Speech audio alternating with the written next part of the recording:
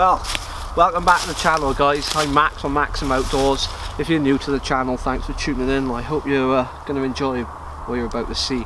So, as the thumbnail suggests, today is all about hunting and camping in uh, wonderful wintry Wales. It's about three degrees today.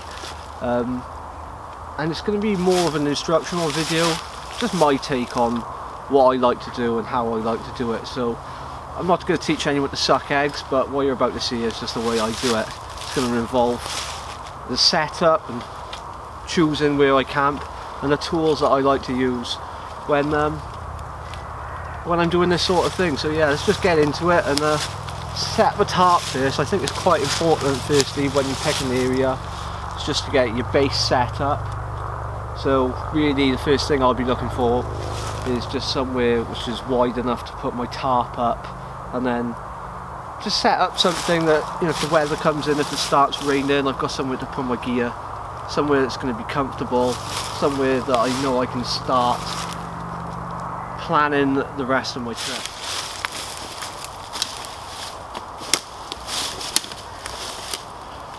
So I've chosen this area basically my tarp is three and a half meters wide so really from that tree to that tree looks pretty ample or I've got a couple of options from this tree to that tree a bit of ground that I can um, clear if needs be.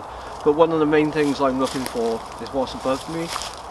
Um, big big trees especially ash just love to drop their limbs unexpectedly. We call these wood widow makers. One of those lands on your head in the middle of the night. Either you're not going to know about it or you really do not want to know about it. But there's nothing directly above me that worries me anyway. There's a couple of small sticks, but they're not really any bother to me. Um, we've got a silver birch here behind me. It's got so many uses in bushcraft. The, the bark itself is great for fire lighting. You can tap the tree itself for birch syrup come the spring. Like I said, it's midwinter at the moment, so we're not going to be attempting anything like that. But it's just an all-round great versatile tree. Um, yeah, so it's a pretty safe spot. There's firewood all around me. I can make a shelter if I want. You might be able to hear a bit of road noise in the background. There's a dual carriageway about half a mile away, so I apologise for that, but it's a permission that I've got to use, and uh, I'm more than grateful for it. So, I've got with me an air rifle. I normally use a pre-charged pneumatic air rifle, but I was thinking about things and I thought that's not so much it's a great tool and I love it but really for a long-term thrival sort of you know thriving in, in the UK wilderness I think what would be much better suited to somebody like myself is what I've got today which is a spring powered air rifle and this is a bit of a See if it's rust on there, it's no good. This is a Weihrauch HW77. It's an underlever. So it's a fixed barrel air rifle, which gives supreme accuracy. Um, obviously, with a pre-charged air rifle, you've got to charge that gun, so you've got a limited amount of shots before you need to recharge it. So in a long-term situation, this thing is German, it's going to last a long, long time it'll probably outdo me. It's fitted with a, a, a scope, which is a Hawke 3x9x50. Um, I think that's quite a bit irrelevant really, and I, I have a lot of people message me and ask what I would recommend for them air rifle wise. My recommendation really would just be whatever you can afford. Whatever you can afford and it's gonna bring you joy and satisfaction, whether that be a thousand pound air rifle or an air rifle that I shot the other day which was a Stoeger brand new 120 pound. It blew my mind. It would it would provide you food and more importantly it provide you fun and enjoyment. So whatever you can afford whatever your budget just go out there and get the best that you can afford and enjoy it. And don't really think too much into it because sometimes when you get really into something and things start costing more money you lose the satisfaction and the enjoyment of what you're doing. So bear that in mind.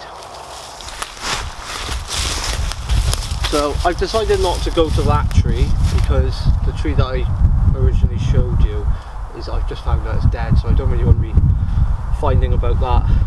It's 3 o'clock in the morning so we're to go from this beech tree to the tree over here. It's a bit bigger than my tarp but I'll have to do some clearing of the ground there's some brambles that I don't really want to expose my tarp to. Other than that it's a really nice spot. There's no widow makers or quite nice flat ground so yeah. A lovely little bushcraft axe here made by Woods Tools, Robin Woods. And I was just going to use it in a light manner just to get rid of some of the brambles here in the, they're really thick and I just nib them off against one of the logs underneath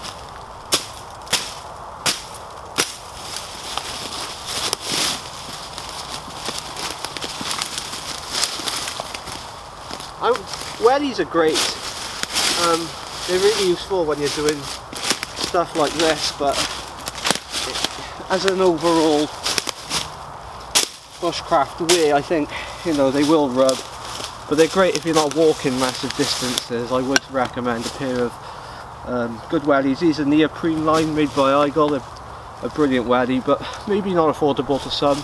I was lucky enough to find these on marketplace like all the stuff I buy is second hand or from charity shops or just I don't really I don't like spending money and if you can buy things cheap and second hand then bloody well do it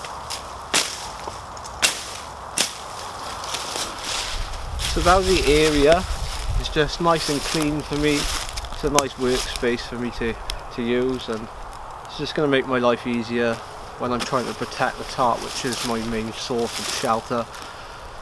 I have in previous videos and in a lot of my camps built debris shelters but today isn't going to be about one of those.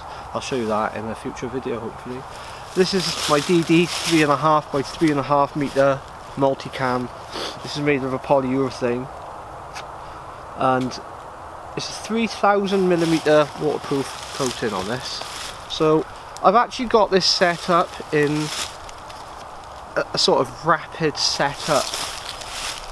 Um, so basically this is just ready to go. You can see these two lengths of paracord here and I always keep that ready to go like this. So on the one end I've just got an overhand knot and I'll show you why I use this. You could use a figure eight but that's what I've got on there at the moment.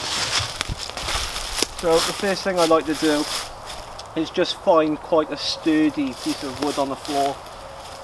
I had a good chat about this with one of my friends uh, using toggles and stuff but it's not so I want to make myself a good set of toggles probably make them out of yew or something something quite decorative but also versatile and useful the first thing I like to do is get this knot put it around a tree like so sort of at head height, the top of your head. There's the knot here. I'm going to get this part of the rope, of the paracord, make another little loop and push it through there. Like so. And I'm going to get the piece of wood that I just got off the floor, put it through, and then push it up tight against the tree. Like so.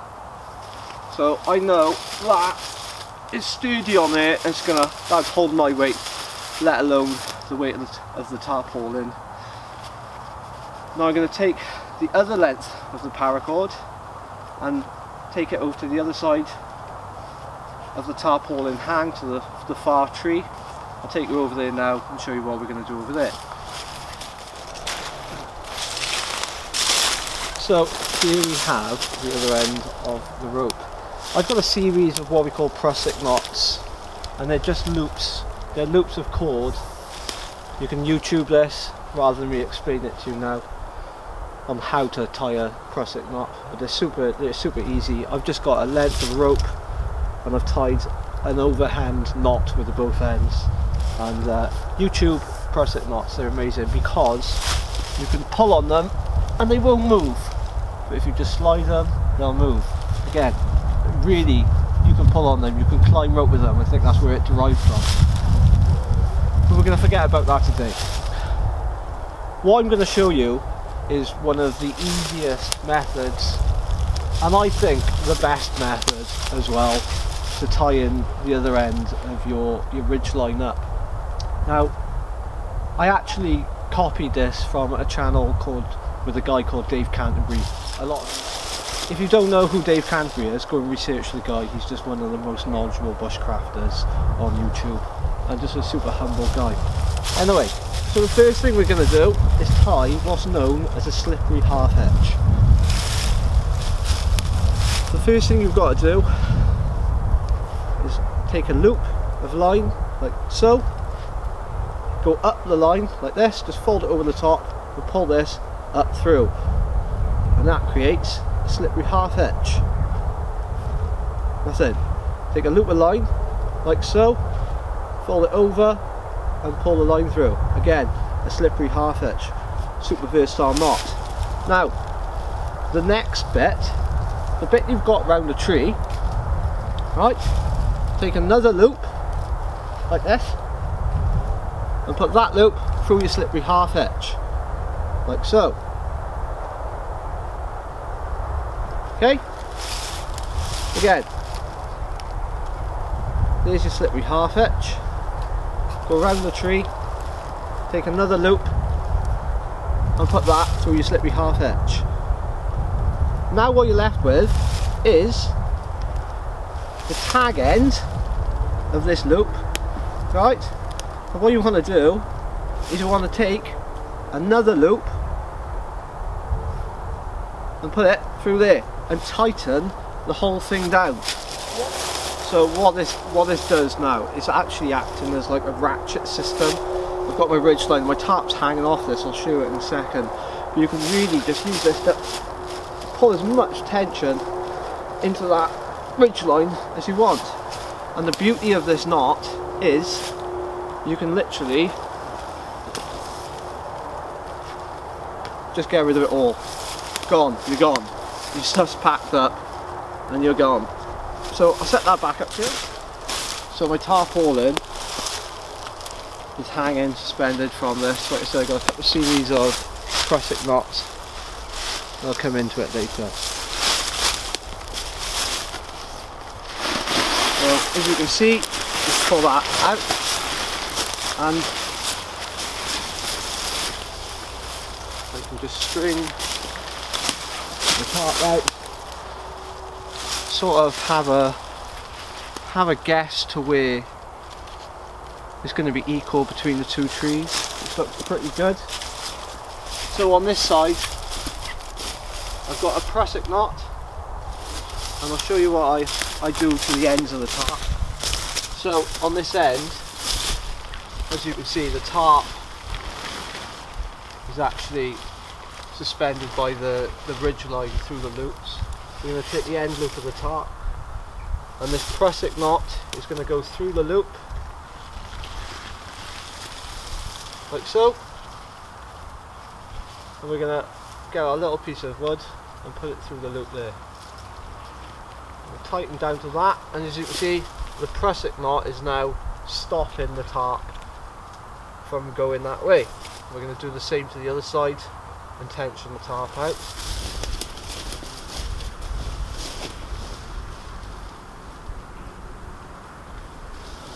So you can see there that tarp is now nice and taut. So the next thing to do obviously is peg out the corners of the tarp. And sort of just just adjust the tarp to how you want to have it on each particular trip. It's completely up to you and that's the blessing of being out and doing it your way. This is just the way I do it. Do it your own way, whichever way you enjoy really one of the biggest tips I can give you when pegging a tarp out. I'll just I'll just tie a quick overhand knot in here just so you can see it in view. This is such a simple piece of advice that everybody should know and most of you know most of you will know but I've seen a lot of channels I'm not going to mention any. I've seen a lot of people do it but I I'm not going to mention any names because I, I'm not into that, it's not about me. It's the position of your peg going into the floor. you should always put it at almost 45 degrees away from the point that you're pegging in like so because you're actually pulling back against an anchor point if you do it vertically okay I've seen so many people push push their pegs in like this. And security is just not there. So always 45 degrees away from the point you're pegging and it'll give you a far greater resistance in wind and adverse weather. So that's the tarp we could now if it, if it was raining badly or snowing or windy we could get under there and it give us a basis to be just just more comfortable than in the open that's what I'm going to do now is just going to get my kit under there. I'm going to have a look at my resources and just think to myself, my next action.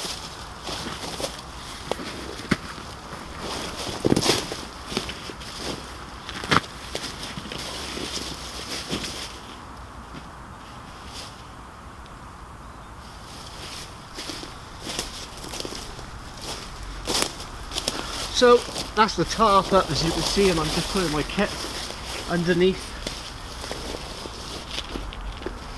Another thing you could do is get a stick, tie it round and create yourself a door or a point of entry into the tarp to save your back trying to duck it down or using the, the ends. It's really nice when you've got a fire here, just tie this away, have the fire and a firewall behind it be careful not to, to bloom your tarp with the sparks but it's something I do quite often. A good tip right now which would be gather some firewood, gather some dry wood. Luckily right now pretty much everything is dry. Otherwise you want to be looking for dead standing wood, stuff hanging in the trees that is normally snap dry. Start make yourself some kindling and get under the tarp where you know if the weather turns for the worst you're going to have a source of dry tinder making your life a lot easier when it becomes to making yourself a fire and being comfortable in your environment.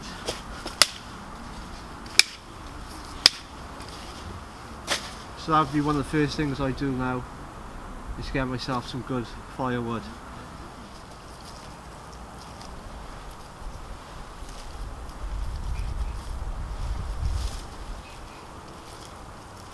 So what I'm doing now is just peeling some of the outer bark off this silver birch. I previously said in one of my videos that silver birch isn't native to the UK, but I was wrong. So it's all about learning. There's one thing I didn't know and one thing I do know now. Don't go getting your knife and trying to peel off a live tree like this. If you find one dead lying down on the floor, then yeah, that's okay. This stuff is just full of natural oils and it's super flammable and will quite easily take a spark off a, a ferro cerium rod and striker and that's exactly what we plan to do. I spent some time sorting through the firewood collection that I've got and separated them into individual piles of various thicknesses and it's one of the most important things in fire lighting is prep. It's where people seem to to lose the fire so quickly is because they haven't taken the time to source through firewood and put those individual piles of various thicknesses in. So when it comes to the fact they've got a flame they'll soon go out because they haven't got the tinder pile to put on top. So you can see this is really fine stuff. And I'll show you the, the timber pile so coming from this side, we've got our fine tinders, and this is what this will be the first thing that we we put on when we've got a, a bigger pile of tinder ready to go.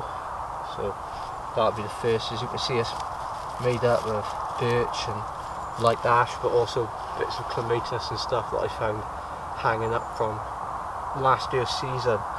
Then we're moving on to a, a variety of really thin tinders and um, then also a little bit thicker but very dry pieces of ash and a, a whole variety really of native trees there. Then obviously we've got thicker stuff and thicker stuff and eventually we'll be moving on to that sort of size tinder but we're ready to go. We're going to put these back under the tarp now and uh, keep them for when we need them. We've now got a security in our minds that we're ready to go when the time arises. We've got a couple of other things to do now. I'm starting to get hungry. You know, in reality I've got two weeks to to find something to eat, but I haven't actually brought any food with me apart from rice, which is a good carbohydrate. I've also got a litre of water. Where I live in Wales, we have an abundance of water. It's quite a very wet climate that we live in. Right now is lovely. It's, it's like I said about three degrees. We've just got a, a floor of firewood around us and it's just a beautiful time of year to be out. I'm going to grab my air rifle now the first thing I'm going to do before I go out looking for for quarry is to make sure that my my rifle is zeroed. And what I mean by that is that it shoots on target. So we're going to go to 25 yards. We're going to put a little target up. we're going to take two or three shots probably and make sure that the grouping of my pellets is within a brain-sized target. So. A super handy bit of kit if you're into your hunting is um is this. It's called a laser rangefinder.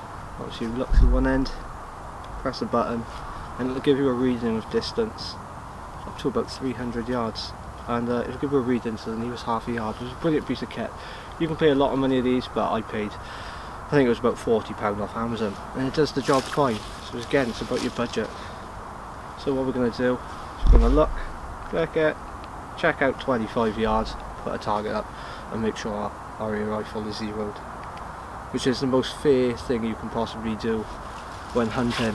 Now one thing I'd like to talk about is the ammunition that you're using for your air rifle. One thing I wouldn't skimp on is pellets. These are Air Arms Diablo Field. There's another one that I use called JSB Exacts, but these are about £20. Now, if you compare that to a 2.2 bullet rifle very cheap but these very clean pellets and they're, they're, really well manufactured and every pellet is pretty much the same. So it doesn't you could buy the world's most expensive air rifle. Put cheap pellets to it it's going to be rubbish you could buy a relatively cheap rifle like the Stoeger of my brother-in-law's that I used the other day. But he was using a, a similar pellet and at 25 yards getting great groupings. And really with a rifle like that you don't want to be shooting past 35 40 yards anyway even though it might be capable. So again one thing you shouldn't really skimp on is pellets if you have to you have to but really it's unfair. These are Diablo Fields. JSB exacts they're two of my two of my favourite type of pellets I'm going to use this rather large rock because it's going to be a, a solid backstop, make sure the pellets don't fly off into the distance. I'm going to walk backwards now, laser range find you at 25 yards. This is also going to show the pellets up really well.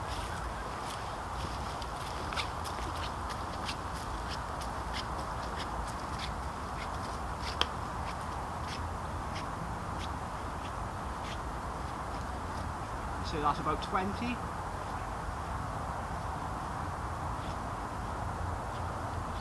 I'm lying, I'd say that is 25 yards. 27.6, so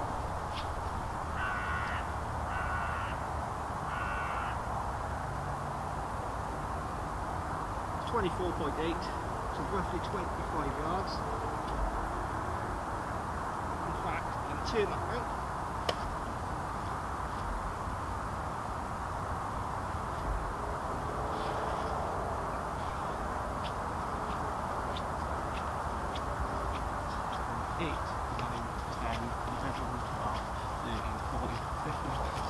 17, 18, 19, 20, 21, 22, 23, 24, 25, 26, 27, 28.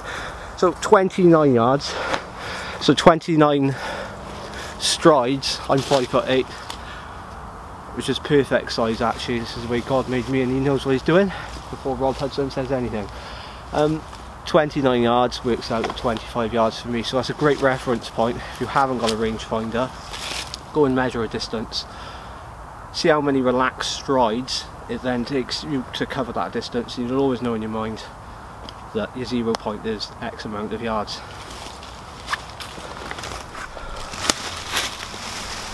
So I've moved the camera back for the sake of the video but I'm still at that fixed point 25 yards. I'll pop these pellets behind you. Some brake barrels have got safety features on them. Also some fixed barrels. They've got anti-bear traps. Obviously that is against the load of the spring so even though when you cock it it might stay there do you really trust a piece of metal when you put your finger inside the breech I always keep that gripped tightly and I insert in the pellet into the breech. Take your fingers away. This has got an automatic safety on the back. So we're ready to shoot. Pays when shooting a spring rifle not to grip the gun at all really, just enough to hold it. With a pre-charged you could really grip that but as this is being a recoiling rifle you want the rifle to do the work and to be able to recoil without throwing the shot off so we're just going to take what I say is reference point shot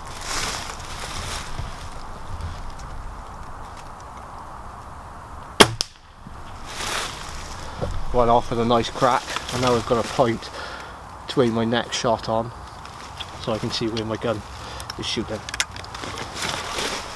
I might have actually zeroed this gun at 30 yards, I can't remember, but I'll know if it's shooting within the next two shots. I'll know if it's shooting on target. Again, safety off.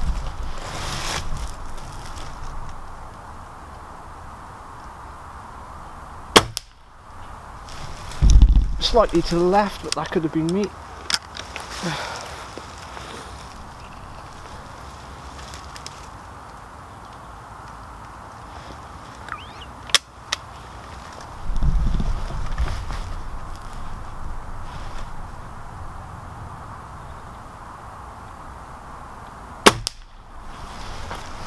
Yeah. So, prove a point, I'm going to go and put a target up and put you behind that. A little stone here, roughly the size of a squirrel, squirrel's head. So I'm going to plot that on here. And uh, I'm going to go take a shot at it. There we go.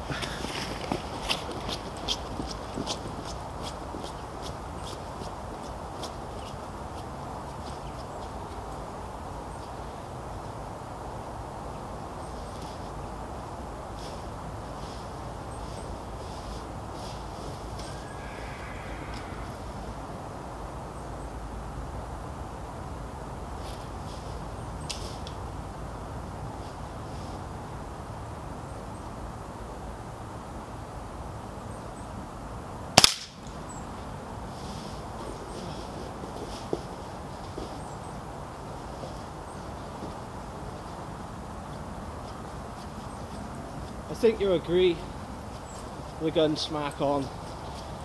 So I'm glad that happened first time. Springers can be unpredictable sometimes, so yeah, let's get on with the hunt. I wouldn't go taking a whole tin of pellets if you're going to go stalking. I mean, in a hunting scenario, how many shots you're going to take and how much food do you really need for a, the duration you're going to be spending, so keep that in mind and just take a small palmful of pellets. And it's quite noisy carrying pellets in the tin anyway but so we're just going to leave that at base camp take our gun and we're going to start making our way up these hedgerows. Just every now and again just stop in every few steps look around us keep these things out of your hat. It's one of the primary sources of of seeing quarry or sorry, hearing quarry and spotting it is your ears. So many times you can hear just a rustle in the trees, and you'll see a squirrel. The rabbits, quite, you know, they, they tend not to make any noise until the point that they're running away from you, so bear that in mind. Go slow, go steady. We just spotted a, a lovely healthy rabbit, but unfortunately, with the cover being so thin on the ground at this time of year, it saw me and it just hopped off into its its cover over there so even though I was walking slowly it still heard me. It's just that type of year it's unfortunate but it is a game of millimeters. So we're going to carry on our stalk now and have a look what else is about. Hopefully another opportunity arises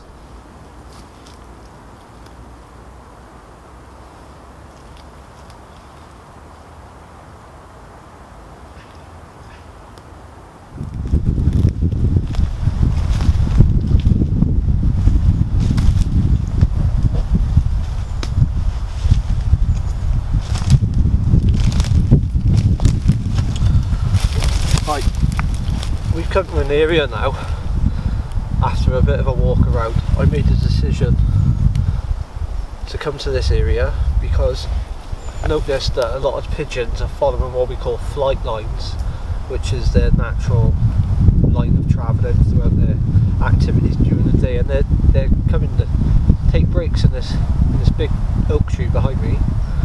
So I'm going to perch myself by here for a bit. Um, I'm out of the way of the line of sun as well, so they're not really going to be able to see me here. So I'm just going to have half an hour just sat here relaxing and hopefully when I swoop into the tree and perch long enough for me to take a shot off.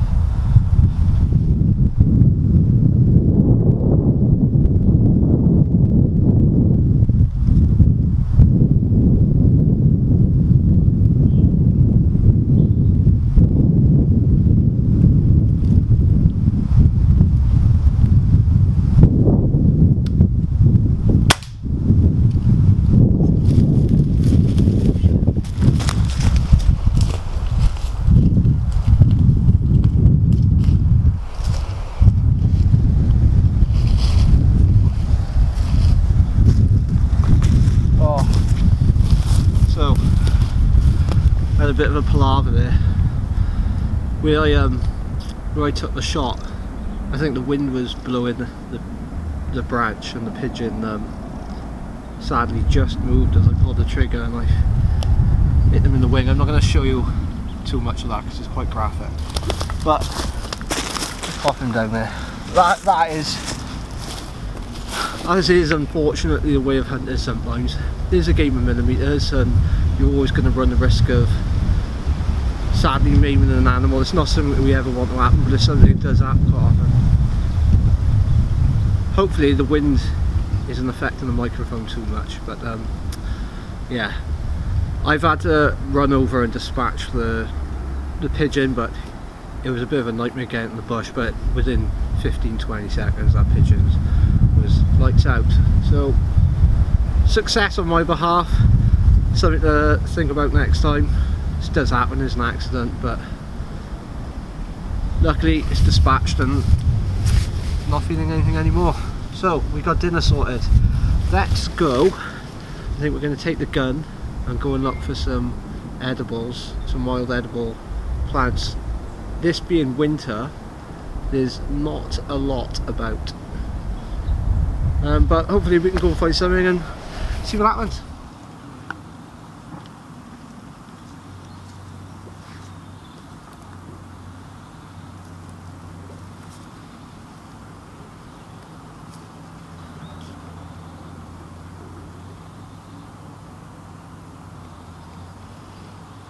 So, whilst I'm walking around having a bit of a stalk, if I'm seeing animals further afield, sort of study their patterns if you can and just try and work out what they'll be doing throughout the day and it'll give you a better insight than what you're going to do later on when you're going to go and try and hunt them. Um, but as I'm as I'm having a stalk, I'm also looking around me for for wild edibles as well. And I've noticed a few things that you potentially eat.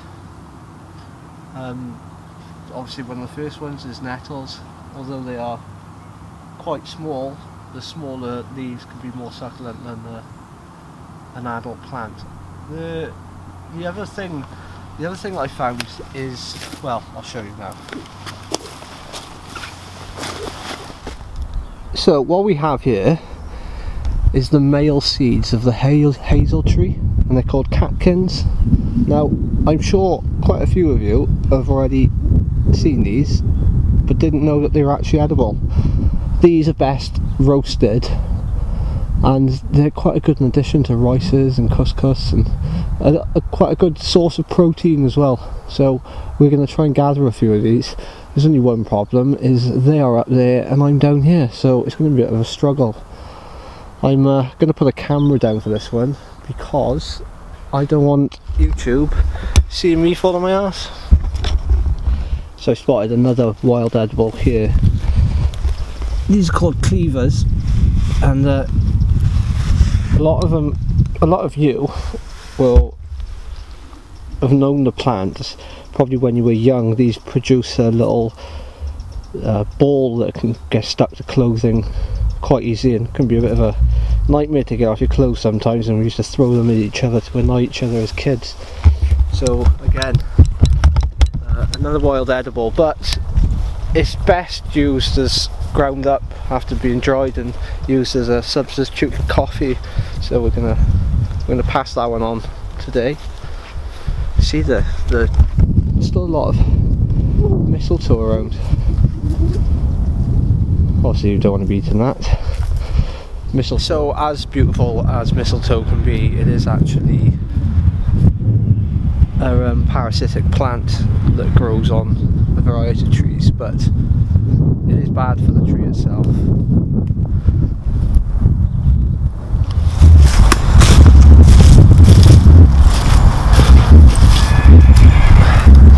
Right guys, so I'm going to spend a long time really just going for a walk and finding more wild edibles but I've got some rice in my bag that I intend to cook along with the pigeon. I'm gonna basically steam the nettles. And regarding the catkins, they're not one of the most tasty things to eat, but the important factor behind it is that the important minerals and vitamins and anti-inflammatories that can actually get carried by the pollen itself in, in the cat the catkins. I don't know if I mentioned this earlier, but I'll, if I, if I had, sorry, repeat myself. The catkins are the male seeds that grow on the hazel tree, but hazel trees actually are one of the type of trees that have both male and female flowers on there. So unfortunately, I couldn't get a picture today of the female flower on the hazel tree, but these are the males. And I don't know if it works now, but in drier weather, you'll see the pollen come off. I'm gonna I'm gonna breast out the pigeon.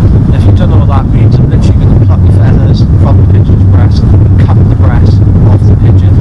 Uh, there's not a lot of other meat on the pigeon itself. If you were really truly in the survival situation, I would say go ahead and pluck more of the bird, but for the demonstration of this video, I'm, uh, I'm just gonna breast it out today. The last thing to do really before I get cooking is to make the fire, so I'm going to grab the, the wood that we prepped earlier and make an upside down fire and I'll bring it back when that's done. So I've made a small upside down fire. Um, in reality if you were going to make a fire that was just going to be straight up for all night you'd make it on a bigger scale than this but I just want to make this fire for purely cooking this meal. Um, I've obviously started with the thicker stuff, crossed it and then crossed that way with thinner stuff, built it up to this where I'll put fine kindling on top. And then the ash, the, the hot embers will fall down, creating a fire that you don't really have to keep putting stuff on to build it up, it'll build itself up into a nice bed of cooking embers.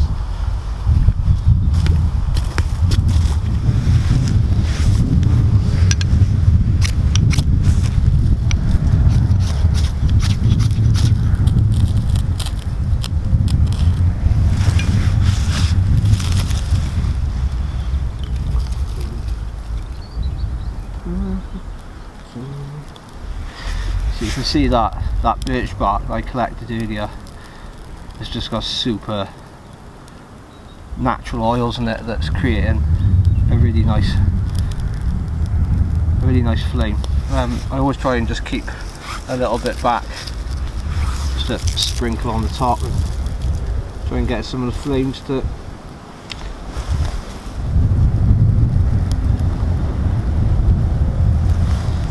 just bring it back when that's uh, going nicely. So I've come to a different part of the wood just to prep this bird. I'm going to dig a hole on my right hand side here and I'm going to bury the carcass there so that um, it can rot down naturally and not even let a mess in the woodland because the feathers can go absolutely everywhere. But just start picking and plucking the feathers off the breast of the bird you'll immediately start to see the dark red meat underneath the skin. Be a bit gentle. I do like sometimes to keep the skin intact so that um, if there's any fat on it, it really renders down to a better flavour when um, you're cooking a bird, which is nice.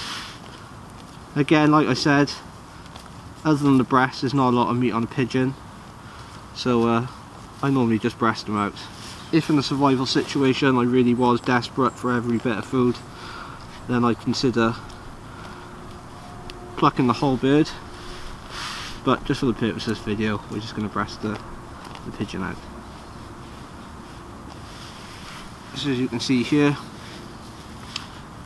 the dark meat is underneath the skin there. So just spend a bit more time plucking the feathers away because when you actually come to cutting the breast off the pigeon it'll stop the feathers going everywhere on, it, on the meat provide a bit of a easier job cleaning the meat then ready for the the pot.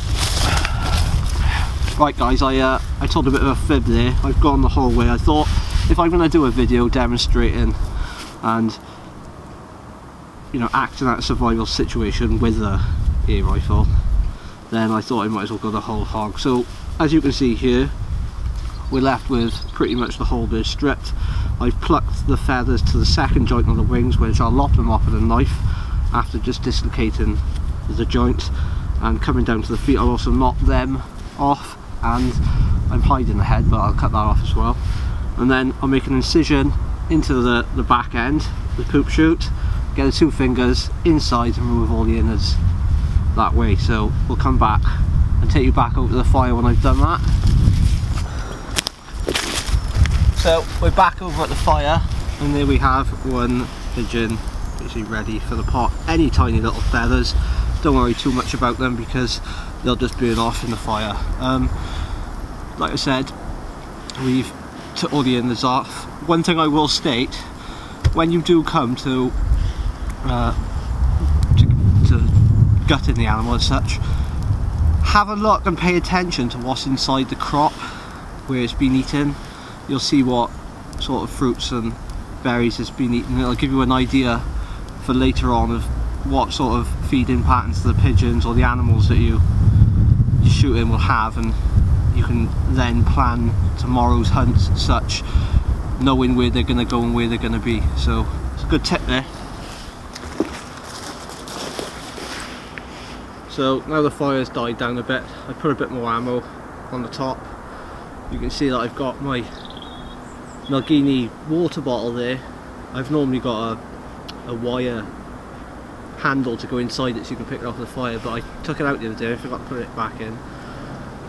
I've made a suitable little spit roast for the pigeon and then you can see I've got my nettles and the catkins lead on my gun case. I thought this would be just quite a nice little um, picture to, to record. So the, the hot water is for the rice, but also to wash my hands. It's given me time now to go and sterilise my knife and just have a bit of a tidy up, feeling a bit more comfortable about things.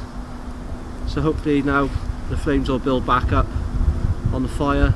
The pigeon's going to cook quite nicely um, you can actually eat pigeon breasts more like you would steak and personally I, I like all my food well cooked when I'm outside I just don't see uh, any necessity in taking risk so that's what I'm going to do. I actually prefer the taste of pigeon well cooked, sliced up and uh, on salads it's beautiful. It's really really under underrated game bird and one of possibly my favourite game meats out there.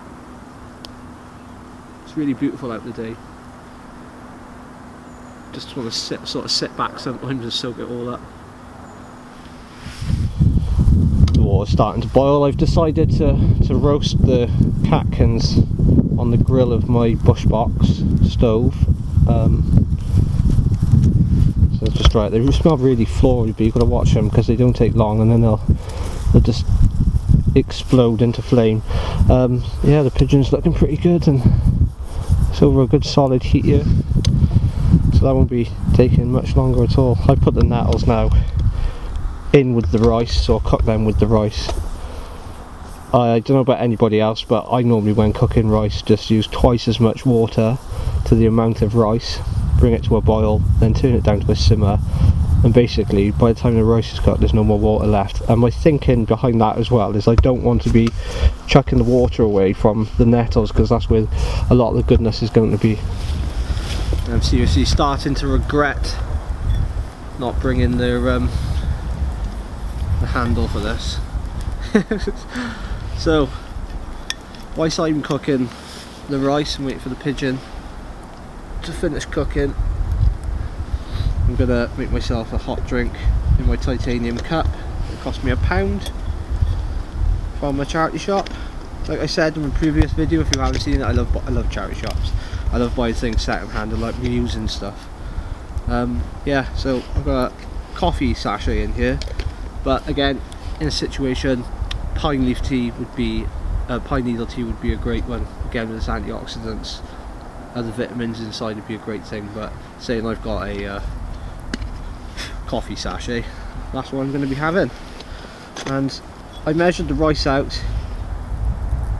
It should be alright I measured the rice out in the cup lid so I know what um, double that's going to be. Which is about there. And we'll just go and splash for a laugh because I splashed quite a bit on the floor then. Put that back into the fire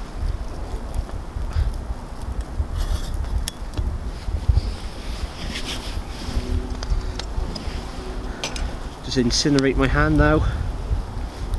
Again. It's just impossible. Um, yeah. What to do? Should be alright.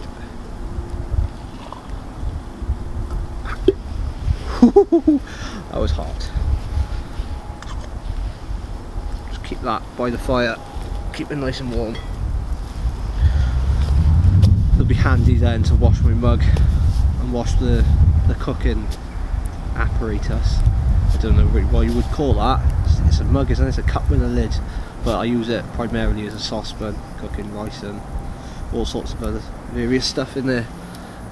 That was a, a cheap one off Amazon, I believe, that my mother bought me a long time ago.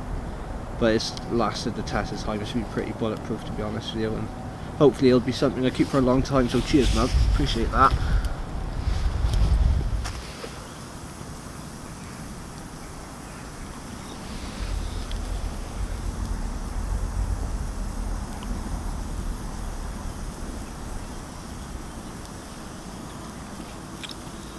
I put my hat down somewhere earlier and I can't for the life of me find it. I just don't know where I put it. I want to talk about a couple of things really. I always use live hazel when I'm making a spit roast.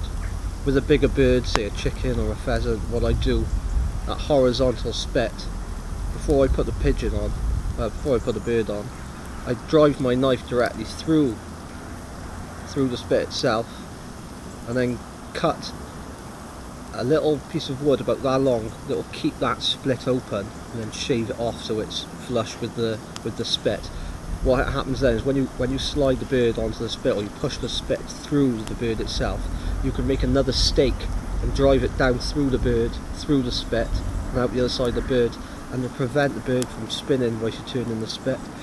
A really good tip. Um, something I've been doing for a long time. But with a pigeon of that size, what normally happens is that it'll grip the spit when it, when the, the first flash heat gets to it, it'll grip the spit and it won't turn anyway. But with a bigger, heavier bird, I'd always recommend making that split in the spit and staking it so so that the bird doesn't turn. The reason that we use hazel, which is live, is that it's not susceptible to burn. I've seen people do it, use dead stick, you wouldn't believe how many times, and uh, come halfway through cooking, it ignites and the spit breaks in half. It's quite a funny situation to be in.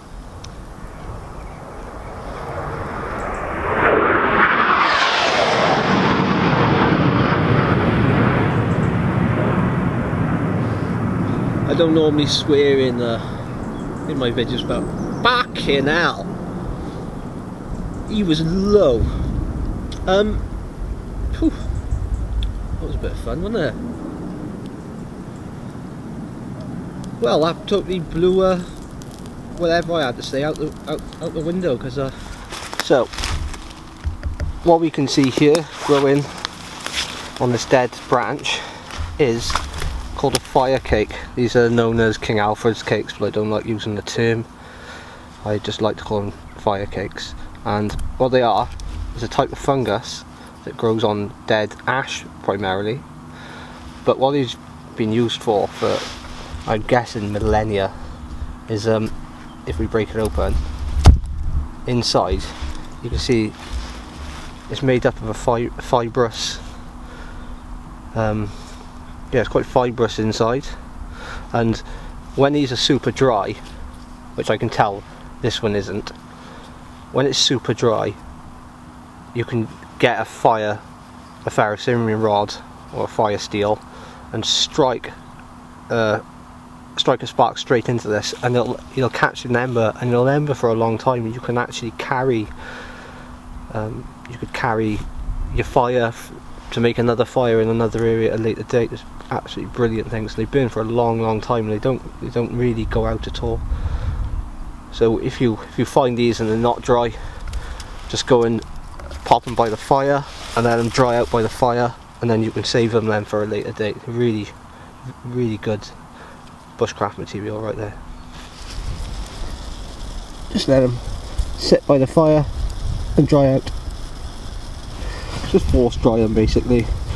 What I would recommend is that you go and have a walk when times are not busy around the fire and collect a few of them and do it as part of your, your daily activities. It's something fun to do and something that's super useful then and there's a real satisfaction of going lighting a fire in another area with a tinder that you've harvested at an earlier date from the woods.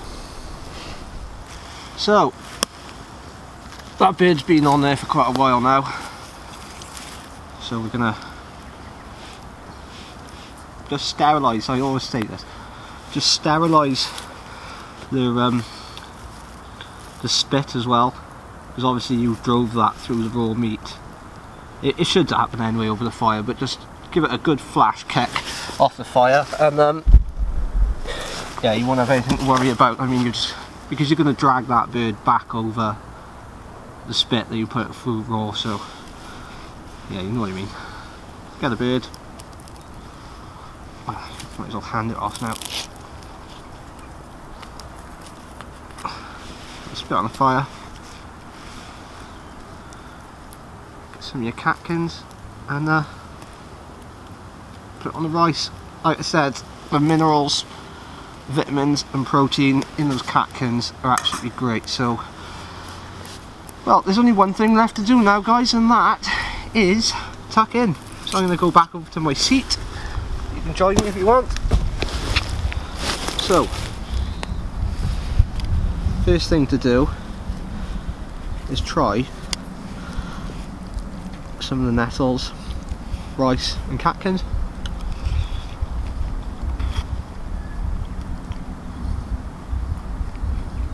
Mmm, beautiful. Uh, The nettles really go well with the rice I find. Gives it a little bit more of a complexity to the what could be quite bland rice. Again the, the minerals and the vitamins and the protein inside the pollen and the catkins are going to provide you with good energy, prevent you from getting ill such as colds and stuff because they've got a lot of uh, anti-inflammatories as well in them which is another thing. Let's try some of this wood pigeon.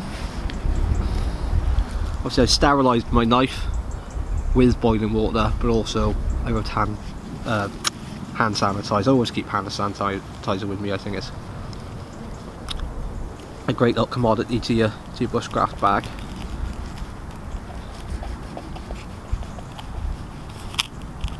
This is uh, more than challenging cutting this while I was talking to you, but here we are. Like I said about being well cut, here's a perfect piece of wood pigeon breast.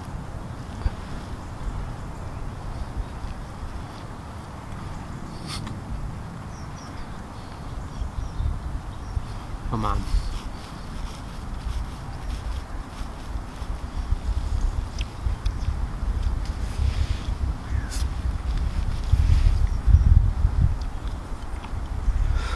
People say, you know, car you go out roughing it. Am I roughing it really? Is that roughing it? It's a damn nice meal. Right, I'm gonna get stuck into this, and um, yeah, the light's dropping fast, so soon it's gonna be dark. I'm gonna prep some more firewood just to keep that fire going throughout the night. Like I said, it's not very warm at all. Probably it warmed up a bit, it went up to about 40 degrees, but it's uh, come back down now to about 3 again, so. See you in a bit, I guess.